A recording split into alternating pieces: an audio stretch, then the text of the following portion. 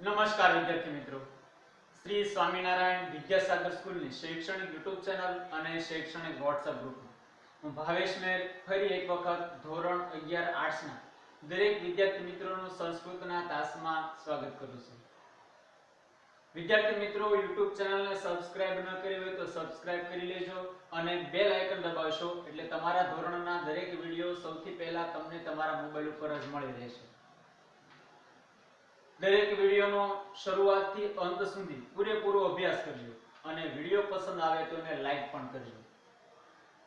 આપવામાં આવેલું દરેક કાર્ય સમયસર કરતા રહેજો અને YouTube ચેનલ સાથે જોડાયેલા રહેજો.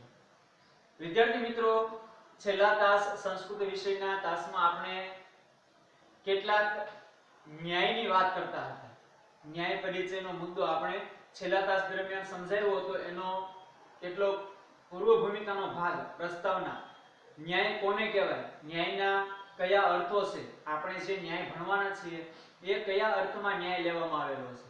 તેની વાત આપણે છેલ્લા ક્લાસમાં કરી હતી કુલ સંસ્કૃત વિષયમાં આપણે 10 ન્યાય ભણવાના છે અને ન્યાય છે એક પ્રકારે કહેવતને મળતો મુદ્દો છે જ્યારે પેલા ઉદાહરણ બાબતે આપણે ભણ્યા હતા નિરક્ષીર વિવેક ન્યાયમાં, કે ખરાબ અને સારાને અલગ પાડવા માટે આપણે આ ન્યાયનો ઉપયોગ કરીએ છીએ. તો એવી જ રીતે બીજા કેટલાક ન્યાય પણ સંસ્કૃત ભાષામાં છે.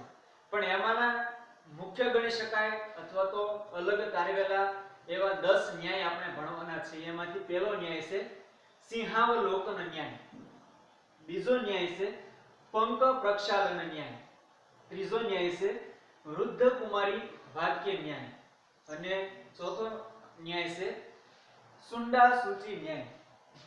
આપણે કુલ 10 ન્યાય ભણવાના છે, એમાંના આજના તાસમાં આપણે ન્યાય નંબર 1 2 અને 3 ની માહિતી મેળવી કે સિંહાવલોકન ન્યાય કોને કહેવાય? એ ક્યારે ઉપયોગમાં આવે છે? અને આ ન્યાયમાં ખરેખર હોય છે શું? શબ્દો જોતા આપણે જાણી શકીએ સિંહાવલોકન, એટલે સિંહ અને અવલોકન. સિંહ જે રીતે અવલોકન કરે એ અવલોકન કેવું હોય છે? એના આધારે જે વ્યક્તિ આવું અવલોકન કરતું હોય, એને સિંહાવલોકન ન્યાય સાથે સાંકળવામાં આવે છે. એટલે આ ન્યાયને આપણે વિસ્તારથી ભણીએ કે કેવા અવલોકનને સિંહાવલોકન ન્યાય સાથે સાંકળી શકાય કે જોડી શકાય. અથવા તો આ ન્યાયનો ઉપયોગ આપણે ક્યારે કરી શકીએ? કુલ 10 ન્યાયમાંના ન્યાય નંબર 1 2 અને 3 ની વાત આપણે આજે કરીએ. બાકીના ન્યાય નંબર 4 5 અને 6 દરેક વિદ્યાર્થીઓએ વાંચવાના છે. આવતા ક્લાસમાં આપણે એની ચર્ચા પણ કરી લેશું અને જે ભણેલા ન્યાય છે, આજના ક્લાસમાં જે આપણે સમજીશું, એનું એકવાર પુનરાવર્તન અથવા તો રિવિઝનના ભાગરૂપે વાંચન કરી લેવું. તમારી પરીક્ષામાં તમને યાદ હશે કે ન્યાય પરિચય કરાવવાના કેટલાક પ્રશ્નો હતા, એમાંથી ટૂંકા પ્રશ્નો પણ કેટલાક પૂછાયેલા હતા અને ન્યાયની સમજૂતી આપવાની અને ન્યાય લખવાના પણ તમારે આવ્યા હતા. તો અગત્યનો મુદ્દો છે એમ વિચારીને દરેકે આની તૈયારી પણ કરવાની છે અને પાકી નોટની બનાવવાની કામગીરી પણ સમયાંતરે તમારે પૂરતી રહેવાની છે. તો જોઈએ આપણે આજનો પ્રથમ ન્યાય સિંહાવલોકન ન્યાય કોને કહેવાય? ક્યારે એનો ઉપયોગ કરવામાં આવે છે? અને ન્યાયમાં ખરેખર હોય છે શું? પહેલો ન્યાય, સિંહાવલોકન ન્યાય જોઈએ આપણે એની માહિતી. સિંહ શબ્દ એ પ્રાણીનો વાચક છે. આપણને ખબર છે, સિંહ છે, એક પ્રાણીનું નામ છે અને આ પ્રાણી જંગલમાં રહે છે. જંગલના રાજા તરીકે પણ તે જાણીતું છે. એટલે આ એક પ્રાણીનો સૂચક શબ્દ છે, વાચક શબ્દ છે. અવલોકન એટલે જોવું. સિંહ એક પ્રાણીનું નામ છે અને અવલોકન એટલે જોવું, એવો એનો અર્થ થાય છે. જંગલના રાજા મનાતા સિંહ નામના પ્રાણીની એક વિશેષતા છે. કઈ કે તે જ્યારે ચાલતો હોય છે, ત્યારે થોડા થોડા અંતરે પાછો વળીને જોતો, જોઈ લેતો હોય છે. જંગલનો રાજા સિંહ, એની એક ખાસિયત છે કઈ કે જ્યારે ચાલીને જતો હોય, ત્યારે થોડુંક ચાલે અને ફરી પાછો પાછળ ફરીને જોઈ લેતો હોય છે. આ એની એક વિશેષતા છે. સિંહની આ વિશેષતાને ધ્યાનમાં રાખીને આ ન્યાયની પરિકલ્પના કરવામાં આવી છે. એટલે સિંહમાં જે ખાસિયત રહેલી છે પાછા ફરીને જોવાની. આ વિશેષતાને ધ્યાનમાં રાખીને આ ન્યાયની પરિકલ્પના કરવામાં આવી છે. એટલે આના આધારે આ ન્યાય છે લખવામાં તૈયાર કરવામાં આવેલો છે ને ધ્યાનમાં રાખીને. આ ઉપરથી એવો બોધ મળે છે. કે માણસે ચાલવાનું ભલે આગળ ને આગળ જ હોય, પણ ક્યારેક ક્યારેક પાછા વળીને પણ જોઈ લેવું જોઈએ. આ ન્યાય જ્યારે ઉચ્ચારવામાં આવે ત્યારે અર્થ શું થાય? કે માણસે ભલે, ખબર છે કે આપણે આગળ ને આગળ જવાનું છે, તો તો આગળ ચાલવાનું છે. પરંતુ ક્યારેક ક્યારેક એને પણ પાછા ફરી ફરીને જોઈ લેવું જોઈએ, પાછા વળીને જોઈ લેવું જોઈએ, પાછળની તરફ નજર કરી લેવી જોઈએ. એક વિદ્યાર્થી તરીકે તમારે આગળ ને આગળ ઉપલા ધોરણમાં જવાનું છે અને તેથી તમારી નજર પણ ત્યાં જોવી ઘટે. હા, એક વિદ્યાર્થી તરીકે તમારી મંજિલ સે આગળ ને આગળ વધવાની હોય, આગળના ધોરણમાં પ્રવેશ કરવાની હોય. પરંતુ તેમ છતાં આગળ વધવાની આ પ્રક્રિયામાં ક્યારેક ક્યારેક પાછળ વળીને પણ જોઈ લેવું જરૂરી છે. આગળ વધવાની આ પ્રક્રિયામાં ક્યારેક ક્યારેક તમારે પાછળ ફરીને પણ જોઈ લેવું જોઈએ કે ભૂતકાળમાં આપણે જે ધોરણમાં ભણ્યા હતા, તેમાં શું ભણ્યા હતા? કારણ કે કેટલાક અગત્યના મુદ્દાઓ છે એ ક્રમશઃ પાયાના જ્ઞાનથી માંડીને તમને છેક સુધી ઉપયોગી થઈ શકે એવા હોય. તો આવી કેટલીક માહિતી માટે પણ તમારે પાછળ વળીને પાછા ફરીને જોઈ લેવું જરૂરી છે. જો તમે 11મા ધોરણમાં ભણતા હો, તો ક્યારેક ક્યારેક તમારે 10મા ધોરણમાં ભણેલી વાતો તરફ પણ નજર કરી લેવી જોઈએ. તમે 11મા ધોરણમાં પ્રવેશ લીધો છે તો ક્યારેક ક્યારેક તમારે 10મા ધોરણમાં જે ભણેલા મુદ્દાઓ છે એના તરફ પણ નજર કરી લેવી જોઈએ. એટલે ભલે આપણે આગળ વધી રહ્યા છીએ, કે આપણે આગળ વધવાનું જ છે, તો પણ આપણે પાછળ ફરીને જોઈ લેવું જોઈએ. એ અહીંયા સિંહાવલોકન ન્યાય આપણને સમજાવે છે. આ સિંહાવલોકન ન્યાય દ્વારા શું આપણને બોધ મળ્યો? કે ભલે આપણે આગળ વધીએ, પણ પાછળની વિગત અથવા તો પાછળની માહિતી અથવા પાછળનો આપણો ભૂતકાળ છે એને પણ આપણે યાદ કરવો જોઈએ. બીજો ન્યાય છે પંક પ્રક્ષાલન ન્યાય. આમાં પણ બે શબ્દો જોડાયેલા છે. પંક એટલે કાદવ અને પ્રક્ષાલન એટલે એને ધોવાની ક્રિયા.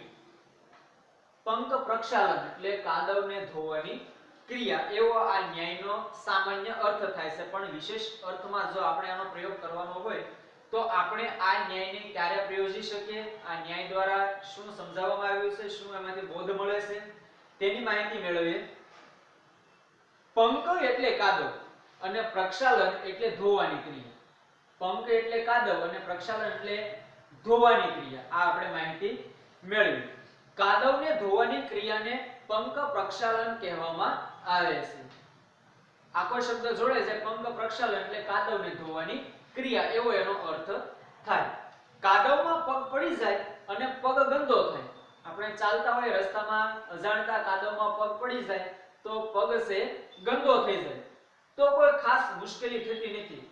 ખાલી પગ આપણો ગંદો થાય, તો એના દ્વારા કોઈ ખાસ એવી મુશ્કેલી થતી નથી. શા માટે?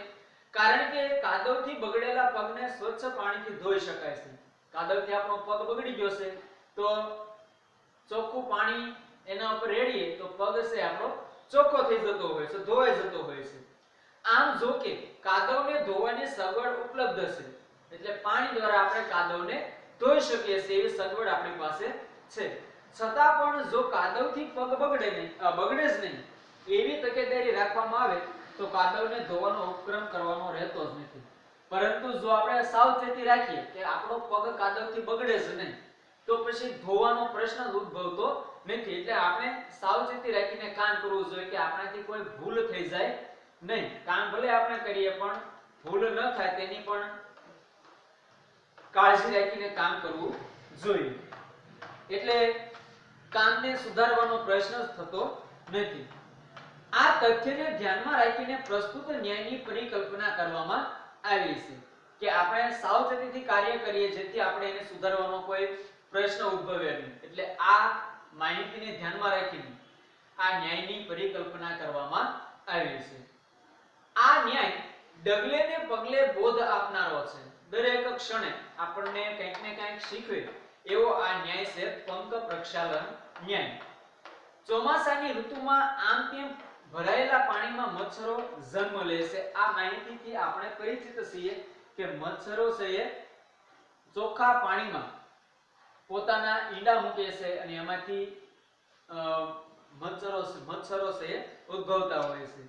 અને વધી પડેલા મચ્છરોથી માંદગીની મુશ્કેલી આવી પડે છે અને પાણી ભરાયેલું રહેતું હોય છે. એના કારણે મચ્છરોનો ઉપદ્રવ વધી જાય અને બીમારી છે ખૂબ જ વધતી હોય છે. જેના કારણે આપણને મુશ્કેલી સર્જાતી હોય છે. સામાન્ય રીતે માણસો એવું વિચારે છે કે મચ્છરના નિવારણ માટે જાત જાતના સાધનો ઉપલબ્ધ છે અને માંદા થઈશું તો દવાખાનામાં સારવાર ઉપલબ્ધ છે. એટલે આપણે શું કરતા નથી? પાણીને પાણીનો નિકાલ કરતા નથી. આપણે એવું વિચારીએ કે મચ્છરોને નિવારવા માટે તો કેટલા કેટલાય સાધનો છે ઉપલબ્ધ છે. અગરબત્તીઓ છે કોઇલ છે, કેટલાક ઇલેક્ટ્રિક મશીનો છે. મચ્છરદાની છે. તો આવા કેટલાક નિવારણ માટેના જે સાધનો છે એનો ઉપયોગ કરીને આપણે મચ્છરથી છુટકારો મેળવી શકીએ એવું વિચારીએ છે અને કદાચ જો આપણે બીમાર પડી ગયા, માંદા પડી ગયા, તો દવાખાનામાં સારવાર ઉપલબ્ધ છે. એટલે આપણે આવી બધી બાબતોમાં બેદરકારી રાખીએ છીએ. પરિણામે મચ્છરો, મચ્છરોથી ઊભી થનારી મુશ્કેલીનું નિવારણ કરી કરી લઈશું. એમાં ચિંતા કરવાની શી જરૂર છે? એટલે આપણે બેદરકાર રહીએ છીએ. મચ્છરો ભલે ઉદ્ભવે, પરંતુ આપણે બીમાર પડીશું તો આપણી પાસે સુવિધા ઉપલબ્ધ છે. આપણે સારવાર કરાવીને પાછા સાજા થઈ શકીશું. એટલે મુશ્કેલીનું નિવારણ આપણે કરી લઈશું એવું આપણે વિચારીએ છીએ. એટલે ચિંતા કરતા નથી. પરંતુ આવા વિચારની સામે આ ન્યાય ઉપદેશ આપી આપણને સમજાવે છે કે ચોમાસાની ઋતુમાં આમ તેમ પાણી ભરાય નહીં. મચ્છરો જન્મે નહીં. અને મચ્છરોને લીધે માંદી ફેલાય જ નહીં. તેની પહેલાની, પહેલાથી જ તકેદારી રાખવી જોઈએ. એટલે આવા સમયે જ્યારે આપણે વિચારીએ છીએ કે મચ્છરો સામે આપણે ઉપલબ્ધ સાધનોનો ઉપયોગ કરીને પાછા સાજા થઈ શકીશું, તો એનું નિવારણ કરી શકીશું. આવા વખતે આ ન્યાય છે આપણને બોધ આપે છે કે ચોમાસાની શરૂઆત થાય છે. ત્યારથી માંડીને એનો અંત થાય ત્યાં સુધી આવી ઋતુમાં ક્યાંય જગ્યાએ પાણી ભરાય નહીં. એટલે મચ્છરો જન્મવાનો કોઈ પ્રશ્ન નથી. મચ્છર નહીં જન્મે તો માંદગી નહીં ફેલાય. અને આવી શું તકેદારી આપણે પહેલેથી જ રાખીશું, તો રોગોનો ભોગ બનવાનો આપણે સામનો કરવો જ નહીં પડે એટલે બીમાર મુશ્કેલીને નિવારવાનો કોઈ પ્રશ્ન ઉદ્ભવશે નહીં. એટલે આપણે આવા કોઈ પ્રયત્નો કરવા જ નહીં પડે કે જેથી કરીને આપણે બીમારીને દૂર કરીએ. આમ, મુશ્કેલી નિવારણ માટે કરવામાં આવનારા પ્રયત્નો કરવાના રહેશે નહીં. અને ખોટો ખર્ચ થાય નહીં અને માંદગીને લીધે ભોગવવાનું, થતું દુઃખ ભોગવવાનો વખત આવશે નહીં.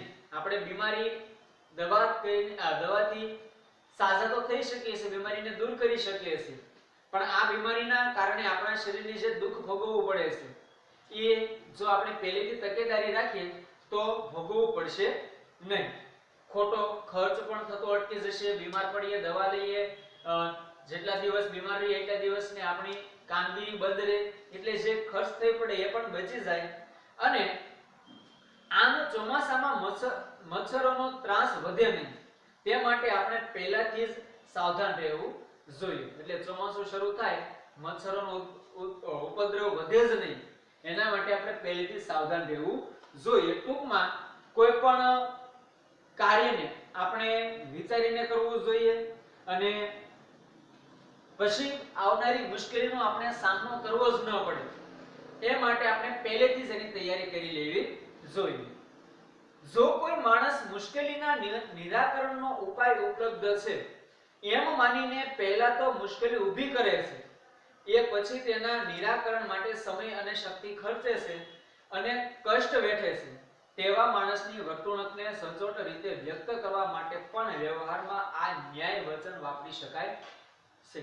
શું કે છે કે કોઈક માણસ એવા હોય કે જેને ખબર છે કે આ મુશ્કેલીનો રસ્તો છે જેના કારણે એ પેલા મુશ્કેલી ઊભી કરે છે અને પછી એ મુશ્કેલીને નિવારવા માટે પોતાનો સમય, શક્તિ અને નાણાં ખર્ચે છે. કેટલુંક કષ્ટ દુઃખ ભોગવે છે. અને જ્યારે માણસ દ્વારા આવી વર્તણૂક કરવામાં આવે છે ત્યારે આ વર્તણૂકને સચોટ રીતે વ્યક્ત કરવા માટે આપણે વ્યવહારમાં આ ન્યાય વચન વાપરી શકીએ છીએ. કયો? પંક પ્રક્ષાલન. ન્યાયનો પ્રયોગ આપણે કરી શકીએ છીએ જ્યારે આપણને એવા વ્યક્તિઓ નજરે પડે કે જેઓ મુશ્કેલીઓને ઊભી કરે છે અને પછી તેને નિવારે છે અથવા નિવારણ માટે સમય, શક્તિ, નાણાં અને ખર્ચે છે. અને દુઃખ વેઠે છે, ત્યારે આપણે એને આ ન્યાયથી સમજાવી શકીએ છીએ. ત્યારબાદનો ત્રીજો ન્યાય છે વૃદ્ધ કુમારી વાક્ય ન્યાય. જોઈએ આ ન્યાયમાં આપણે શું સમજવાનું છે? આમાં પણ બે શબ્દો છે વૃદ્ધ કુમારી એટલે કે વૃદ્ધ એવી કુમારી. હવે આવું કોઈ કાળે બને નહીં કે વૃદ્ધ હોય અને કુમારી હોય. વાક્ય એટલે વચન. વૃદ્ધ કુમારી એટલે વૃદ્ધ સ્ત્રી અને વાક્ય એટલે વચન. વૃદ્ધાવસ્થાએ પહોંચેલી કોઈ એક કુમારીના વચન ઉપરથી આ ન્યાય પ્રચલિત થયો છે. વૃદ્ધાવસ્થાએ પહોંચેલી કુમારીના વચનો ઉપરથી આ ન્યાય છે પ્રચલિત થયો છે, જાણીતો બન્યો છે. એક કથા છે, કઈ કે વૃદ્ધાવસ્થામાં પહોંચેલી એક કુમારિકાને માત્ર એક જ વરદાન માંગવાનું કહેવામાં આવે છે. તે વિચારીને વરદાન માંગે છે. કયું પુત્રા મે બહુ ક્ષીર ધૃત મોદનમ કાંચન પાત્રે ભુજીરન શું કહેશે?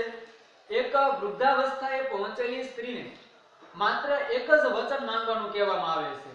અને આ સ્ત્રી છે વિચારીને એક વચન માંગે છે. કહ્યું, કે મારા પુત્રો સોનાના વાસણમાં ઘી અને દૂધથી યુક્ત ભાત ખાય. હવે પોતે કુમારી છે, અપરિણિત સ્ત્રી છે, વૃદ્ધાવસ્થાએ પહોંચેલી છે અને એણે વચન માંગ્યું કે મારા સંતાનો છે એ સોનાના વાસણ, વાસણોમાં ઘી અને દૂધથી બનેલા ભાત છે એ આરોગ્ય. આવું એણે વચન માંગ્યું. આમ આ એક જ વચનમાં વૃદ્ધ કુમારીએ પોતાના પતિ અને પુત્રને તો માંગી જ લીધા. તે સાથે ઘી, દૂધ અને અન્ન વગેરે ખાદ્ય પદાર્થો તથા સુવર્ણાદિ ધન એમ બધું જ માંગી લીધું. માત્ર એણે વચન માંગ્યું એક, પણ આ એક વચનની સાથે એમણે કેટલું બધું માંગી લીધું? એના પતિનો સમાવેશ એમાં થઈ ગયો, એના પુત્રનો સમાવેશ થઈ ગયો, એના ઘરે તેલ, ઘી, દૂધ અને અન્ય, અન્ન જેવા ખાદ્ય પદાર્થોનો સમાવેશ થઈ ગયો અને સુવર્ણ સંદર્ભે ધનનો સમાવેશ પણ થઈ ગયો. આમ એક વચનમાં આ વૃદ્ધ કુમારી સ્ત્રી વિચારીને માંડ્યું છે તેને ઘણું બધું મળ્યું. વૃદ્ધ કુમારીના આ વચન ઉપરથી આ ન્યાય કલ્પવામાં આવ્યો છે. વૃદ્ધ કુમારીના જ્યાં વચન માંગવાના શબ્દો, વચનો છે, એના ઉપરથી આ ન્યાયની પરિકલ્પના કરવામાં આવી છે. માનવ જીવનના જુદા જુદા અનેક સંદર્ભોમાં આ ન્યાયથી પ્રેરણા અને ઉપદેશ મળી શકે એમ છે. આપણા રોજબરોજના જીવનમાં જુદા જુદા સંદર્ભોમાં આપણને આ ન્યાયમાંથી પ્રેરણા અને ઉપદેશ મળી શકે એમ છે. અહીં ભોજનના સંદર્ભે આ ન્યાયથી મળતો ઉપદેશ વિચારીશું પણ આપણે અહીંયા જે ન્યાય ભણવાનો છે વૃદ્ધ કુમારી વાક્ય ન્યાય, એ આપણે ભોજનના સંદર્ભમાં ભણવાનો છે, ભોજનના સંદર્ભમાં વિચારવાનો છે. જોઈએ આપણે આપણે જાણીએ છીએ કે શરીરને માટે અનેક પ્રકારના વિટામિન, ખનિજ પ્રોટીન વગેરે તત્વો અપેક્ષિત છે. આપણા શરીરને ટકાવી રાખવા માટે, શરીરમાં પૂરતી શક્તિ મેળવવા માટે પ્રોટીન, વિટામિન અને ખનિજ ક્ષારોની જરૂરિયાત પડતી હોય છે. તે બધાની જરૂરિયાત પ્રમાણેની પ્રાપ્તિ થાય, તે બધા પ્રમાણેની પ્રાપ્તિ થાય તે માટે જુદા જુદા શાકભાજી અને અન્ન ખાવાના હોય છે. દરેક તત્વો આપણને એક જ ખોરાકમાંથી મળતા પણ નથી. એટલે આપણે આ દરેક ખોરાક ખાઈને એમાંથી અલગ અલગ તત્વો છે મેળવતા હોઈએ છીએ. પરંતુ ક્યારેક જો કોઈ એક જ વસ્તુ ખાઈને આ બધાની પ્રાપ્તિ કરી લેવાનો અવસર આવે, તો માણસે ગાયનું દૂધ પીવા જેવું છે. પરંતુ જો એક જ ખોરાકમાંથી આપણને બધા તત્વો મળી રહે એવું આપણે કરવું હોય, તો એના માટે માણસે ગાયનું દૂધ પોતાના ખોરાક તરીકે ઉપયોગમાં લેવું જોઈએ. વૃદ્ધ કુમારીના પેલા વચનની જેમ આ એકમાત્ર ગાયના દૂધના ભોજનથી બધા જ જરૂરી તત્વોની પ્રાપ્તિ થઈ જાય છે. જેમ વૃદ્ધ કુમારી એક વચન માંગે છે અને એને ઘણું બધું એમાંથી મળી રહે છે. એમાં ગાયનું દૂધ છે, એ માત્ર એક ખોરાક છે, પણ એમાંથી આપણા શરીરને જરૂરી એવા બધા જ તત્વો છે આપણને મળી રહેતા હોય છે. આ રીતે જ્યારે કોઈ વ્યક્તિ એક જ ઉપક્રમથી અનેકની પ્રાપ્તિ કરતી હોય છે ત્યારે તેવી વ્યક્તિની ઉપલબ્ધિને સરસ રીતે વારસા આપવા માટે આ ન્યાય વાક્યનો પ્રયોગ કરી શકાય છે. આમ, જ્યારે કોઈ એક વ્યક્તિ છે, એ ઉપક્રમથી અનેકની પ્રાપ્તિ કરતો હોય છે, ત્યારે આવી વ્યક્તિની ઉપલબ્ધિને સરસ રીતે વાંચા આપવા માટે એને સારું લાગે એવું કહેવા માટે આપણે આ ન્યાયનો ઉપયોગ છે, કરી શકીએ છીએ. વિદ્યાર્થી મિત્રો, આપણે ભણ્યા આજના ત્રણ ન્યાય સિંહાવલોકન ન્યાય પંક પ્રક્ષાલન ન્યાય અને વૃદ્ધ કુમારી વાક્ય ન્યાય. આગળના ન્યાય નંબર 4 5 અને 6 ક્રમશઃ સુંડા સૂચિ ન્યાય, સૂચિ કટ્ટા ન્યાય અને જલબિંદુ નિપાત ન્યાય. જેની માહિતી આપણે આવતા તાસમાં કરીશું. દરેક વિદ્યાર્થી મિત્રોએ આગળના ચાર ન્યાયને વાંચને તૈયાર કરવાના છે. સમજૂતી સાથે આપણે આગળના તાસમાં ભણવાના છીએ. અને આજે ભણેલા ત્રણ ન્યાયનો પણ એકવાર વાંચન કરીને સમજૂતી મેળવવાનો પ્રયત્ન કરજો અને YouTube ચેનલ સાથે જોડાયેલા રહેજો. વિડિયોને શરૂઆતથી અંત સુધી પૂરેપૂરો અભ્યાસ કરજો. ઘરે રહો અને સુરક્ષિત રહેવાના ઉદ્દેશ્ય સાથે ફરી એકવાર આપણે મુલાકાત થશે. ત્યાં સુધી દરેક વિદ્યાર્થી મિત્રોને મારા જય સ્વામિનારાયણ. આપનો દિવસ શુભ રહે.